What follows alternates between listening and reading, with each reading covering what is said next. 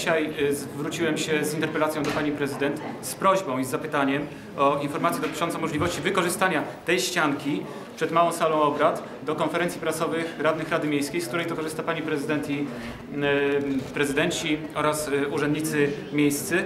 I też bym chciał prosić o wykorzystanie tej ścianki dla naszej pracy, ponieważ Rada Miejska, radni Rady Miejskiej również chcą się włączyć w promocję tego logo, które w tej chwili jest. Zresztą ja w tej chwili jestem ubrany nieprzypadkowo, jestem niejako dopełnieniem pozostałych kolorów, y, które towarzyszą logo.